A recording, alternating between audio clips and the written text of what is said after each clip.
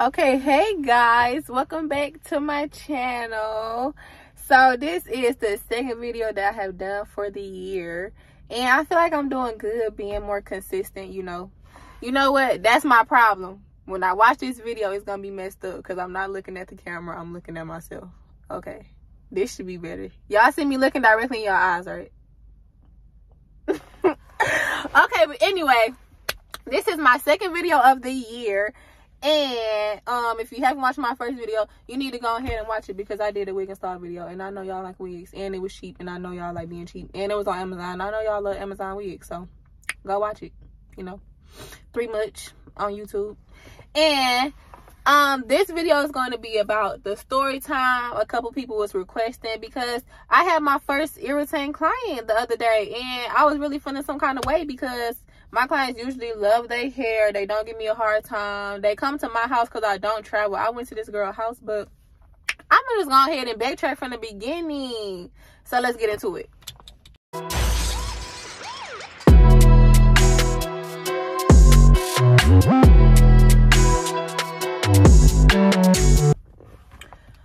All right. So i end up doing my classmate hair. Um she wanted some butterfly locks she wanted this well she actually wanted um some other butterfly locks i did which i'm gonna go ahead and post either right there right there right there somewhere on the screen so she wanted that and I have never seen, I never seen my classmate real hair because she always got like the fake ponytail or something going on. So I, I didn't know how damaged her hair was. So she ended up seeing the girl um hair that I did a couple days ago. And it was like, I wanted just like this.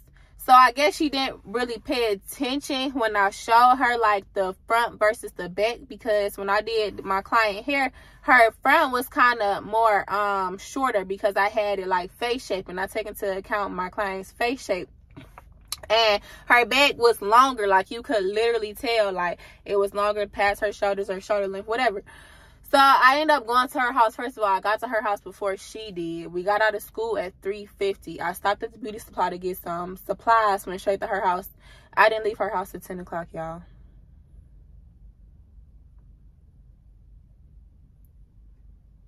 Ten the fucking clock.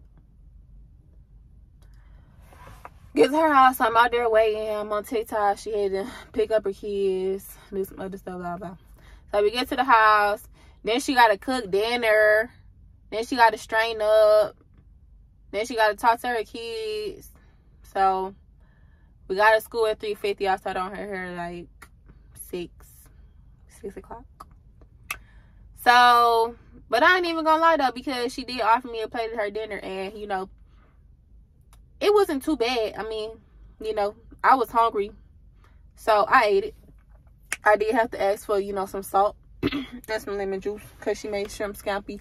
But yeah, we had end up eating and once she had um she had ended up washing her hair, she was like, I'll go ahead and wash my hair to get the product out. So she washed her hair and I looked in the kitchen and I'm just like, you could see all the damage. Like she had it colored, so I don't know if it was from that. And then once I started doing her hair, it was like shorter and broken off in more pieces. So, and then she was telling me she wanted to grow her hair out. So, I didn't want to use rubber bands because it was going to be tension on top of tension. Because, you know, if you know how to do butterfly locks, you have to wrap that hair around the braid. So, that causes more tension on top of that rubber band. So, I'm like, your parts is not going to be like my clients from that picture because your hair is so broken off. And I'm trying to think about the integrity of her hair and the fact that she's trying to grow it out. So, I made her parts larger okay cool. So um once she once i finish you know i i moosed it whatever whatever. So we get in the bathroom and she like like she just she just playing with it but she ain't saying nothing. So i'm like you you like it? Like what? But she had ended up paying me before she looked in the mirror. So she like um she like i just wanted and she told me everything like i just wanted a side part and you know i wanted more locks than this and i wanted them all the same length and i just i just didn't want it this big and i'm like i said we can i was like i can take it down and you know put them parts and put them in half like split it in half basically but i'm like i'm gonna have to use rubber bands and you know you're trying to grow your hair out and that's gonna be more tension and more tension equals more breakage. So she's like, um, she like, it, you know, it really don't matter. I don't care if we break off again. I'm like, you know, as a damn, as a, you know, I'm not licensed, you know, and you know, she know that because she my classmate. Um, so I'm not, I'm not licensed, but I'm just like, damn. As a stylist, I'm trying to put, you know, your hair's best interest and heart, you know, because I, you know, I want to get paid, but I also, you know, want your hair to to grow, to to be healthy too. So, um, she like, yeah, I, I don't care if it break off, but I just I just wanted more locks. I wanted it to be fuller. And she like, um, she like, yeah, and it's just it's too stiff, but if you have butterfly locks, you know when you first get these locks, they be stiff. Mine was stiff when I first did them, but now they move. Like once you start getting in the shower and, and you know doing stuff, a couple days. Well, I think mine took like maybe a day or two. It be good. So I finished her hair maybe like two hours. Started at six, probably ended at eight. Then it was another two hours because I didn't leave her house till like 10 o'clock because I had to go back. We had to cut them out. And, and she like, um, she like, yeah, I'm gonna help you. I'm like, yeah, because you're you're gonna have to help at this point. Mind you, her price is already discounted. I didn't charge her full price because you know her birthday was the next day and she my classmate, you know, we cool.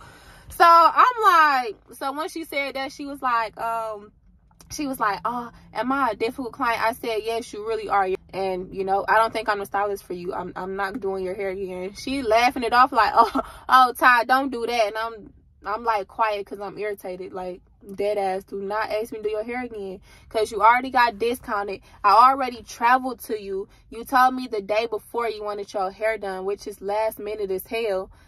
So, you know, me trying to go out my way, that was, I only had two off days this week from work. So, you know, I'll be wanting to go home after school. I really do and fucking relax and be with my family. But instead, you know, I'm with yours trying to do your hair and stuff. And then I was really just like taking like taking a bail. I was really irritated. Like, I'm done doing hair. I'm about to scam or some shit for real. Like that made me so mad, y'all. But uh we end up finishing and you know I'm I'm like straightening up my mess, getting all the hair off the floor because still like I'm not about to leave your house dirty, whatever. But I really have felt some kind of way because, you know, I'm breaking all my rules, you know, discounted prices, traveling to you, doing that, you know, day, day before appointment stuff. I don't do that because I be having plans. Even if my plan is to lay down, it's still my plan. But, you know, it, it's, it's your birthday. You want to look good for your birthday? Cool, you know. And now, and I come to your house. So, I had really felt some kind of way. And, and, you know, it it was like it was like an eye opener like okay you about to be in this career and this is not the last time you about to deal with you know a hard client and i'm just like what the hell am i about to do because at the same time i still have to be professional even though she got discounted even though i know her and you know we see each other in class every day i feel like i still have to be professional and not be like okay girl i send your money back. Fuck this. I'm not re-. like i had to be like okay what do you want to do to fix it? You know we can cut it down. Because at the same time i still want you to leave my chair happy. Well leave her chair. I still want you to you know once i finish your hair i still want you to feel pretty you know have that confidence. Because as females when we get our hair done we be feeling ourselves. And i done had times where i went to the salon and you know didn't like my hair and went home and you know wasted money because i took it out. Or i got to go home and try to fix it myself. And i don't want my clients to have to do that. So um yeah, that that's pretty much the story though. But I had really felt some kind of way, and then you know, people that's not stylists, they be having to understand you cannot always get a picture or see a picture and be like, oh, I want this. Because that client, her hair was pat like at her damn, you know, at her shoulder, at her bra strap. You know, my client hair was like right here. You know, the, my classmate hair was like right here. So you can't always see a picture because you got to think of the hair, uh, the hair texture. You have to think about, you know, everything, how damaged it is, if it was color, anything, how you take care of your hair might not be how somebody else take care of their hair. And I ain't feel like I had to explain that to her because, you know, you learning the same stuff I'm learning. Like, you sit next to me in class every day And then, you know, when we had when we came to school the next day, I was still kind of mad. And if you know me, I really hold grudges. So when she was talking to me and said good morning, I was like, yeah, mm, morning. Cause I was really still feeling some kind of way. Like I'm not like I wasn't trying to be a bitch, but I really I'm so soft sometimes and I really be in my feelings about shit. So either I may ignore you and not talk to you and be in my feelings or you gonna get cut off. And you know, I ain't gonna cut her off because she really sweet. Like she uh she pushing 40, so she kinda older. And I just feel like she also didn't know about these kind of styles, like the the butterfly locks, cause she always wearing like clip in ponytails and quick weaves and the 27 piece and stuff like that. Stuff older people wear, but that was pretty that was pretty much it. And then I was just Bro, when I got home, I was so tired. Like, I got in the shower and just knocked out. Because I had been up since like 6 that morning to drop the boys off at school. And then I had to go to school and then do hair after that. But this the grind I signed up for. But, man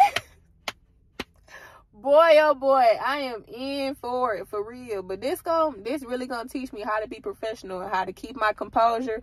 You gonna leave my chair satisfied every time. Oh you don't like this you know. Well we gonna have to do something to fix it. But also i'm gonna have to explain like you can't have what somebody else have. If you got fine hair and she got coarse hair it ain't gonna look the same. If you got damaged hair and she got healthy hair it's not gonna look the same if your hair is 12 inches and hers is like 16 it is not gonna look the same. Seriously.